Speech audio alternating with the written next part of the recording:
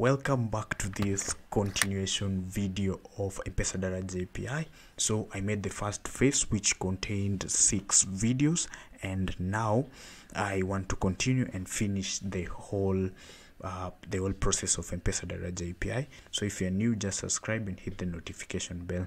So in this video what I'm going to teach, I'm going to teach about the STK push callback and handling the data that is being sent after a person enters his PIN, M-Pesa PIN from STK push, then he gets and store them into the data. So in this video too that I did here, the part, uh, the M-Pesa STK, this part the 3b of M-Pesa storing the M-Pesa STK data, people are saying that they are not getting the they're not getting the callback the the json data that i described there because most people didn't have an active domain so they didn't know how where they could test it. So you can see from the callback this is the stk push.php that we made in the video.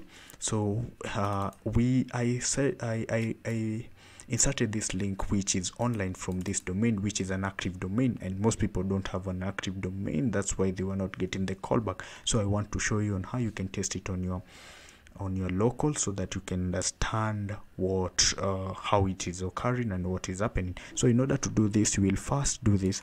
You will uh, come to the, you will create an account at ngrok and if you don't know how to set up an ngrok account uh, or an ngrok in your in your pc you can just pause this video then go to a video that i have posted before this. It's how you can install ngrok in your pc then come back to this so that you can understand what is happening.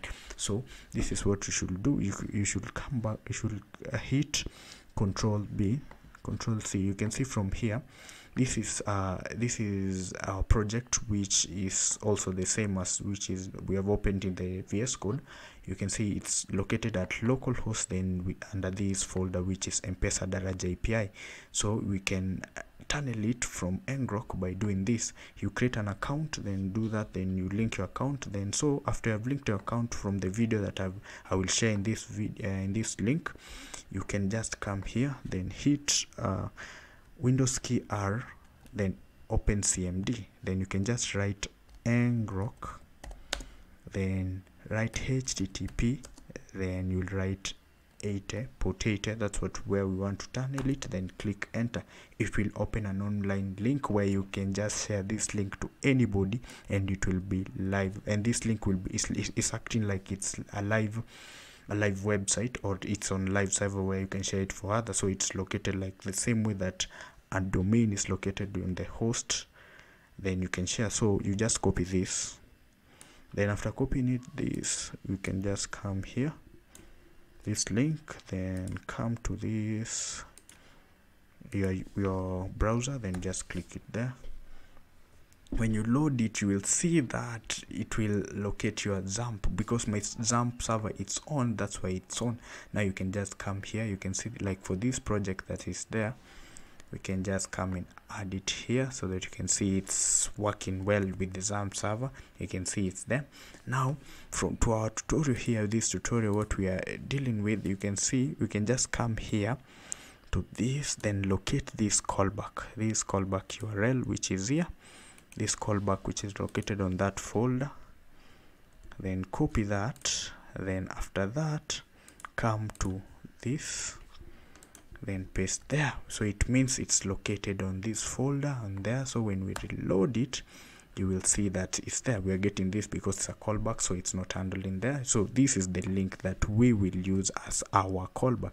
You can just come here and you can see from this dashboard when we reload uh, these logs are happening here. So you can just come here to this uh, your STK push then copy this here delete the, the one that I, I added then just paste it there. You can see this is the live one. Now we are going to trigger the STK push. Then we will see if it will add the data the transaction data to this file. So when it adds it means that this callback will send the data. Then i can show you on how you can manipulate the data and store it in a database. So let's test it first. Let me first share my screen here.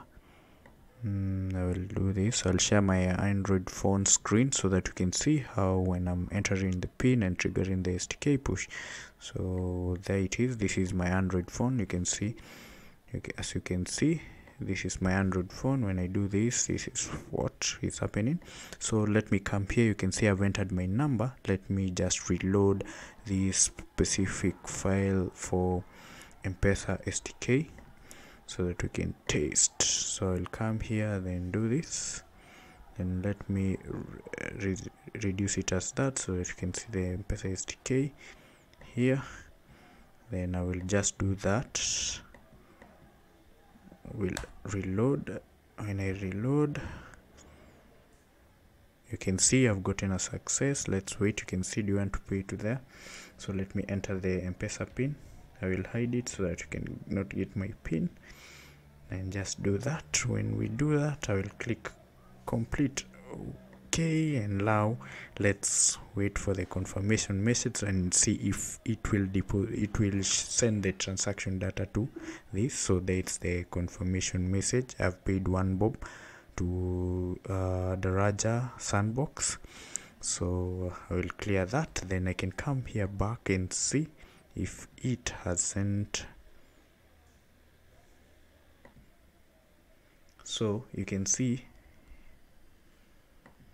so let me come here again and test it with a different amount here first. Let me test it with uh, two shillings. I will test it with two shillings then do this. Come here and reload it again. And reload it again here. Let me reload. So when i reload it i will get an stk push then enter my pin once again when I enter my pin I will click OK then wait for the confirmation message. And enter the confirmation message there it is there's the confirmation message so there. Now let me come back to uh, here this is the you can see it has sent here this the callback data. Now let me format it so that you can see the data that has been sent. This is the two shilling that i've entered and the transaction id let's confirm if the transaction id is the same that the one i've received in my person. So let me just copy this and come back here. You can see from there this is the same transaction id that uh, that's the same with the one that I've sent here. So uh, I will show you in the next video on how you can store the uh, these transactions into the database. Then we continue and continue. So if you're new just subscribe